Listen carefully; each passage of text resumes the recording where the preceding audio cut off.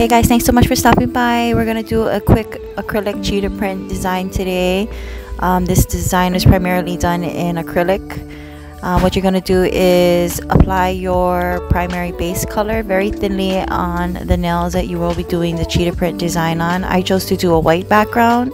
This is just white acrylic powder um, that I'm applying very very thinly to the nail plate and not even trying to get full coverage. I'm just trying to get moderate to full coverage because I'm going to be covering this nail in cheetah print.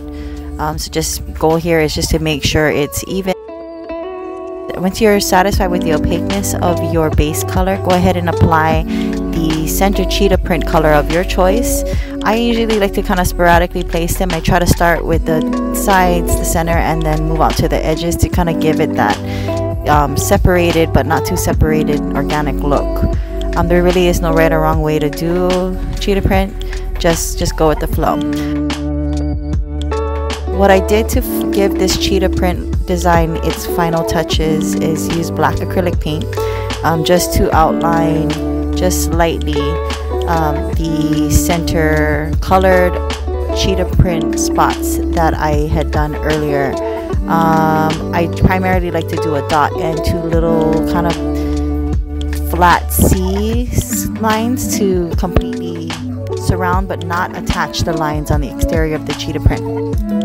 Um, and also making sure that you put a little bit of the black or the color of paint you're using to, you know, outline your cheetah print spot. Make sure you do a couple of dots in between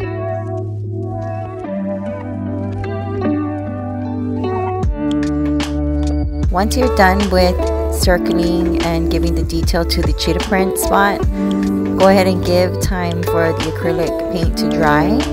And once it's dried completely, go ahead and cap your entire design in a thin coat of clear acrylic. This will protect the design and then you're going to go ahead and finish file and top coat and you are done. I hope that you were able to pick something up from this video today. Thank you so much for stopping by. Definitely check me out on social media. Thumbs up, subscribe, uh, and I will see you guys soon. Take care.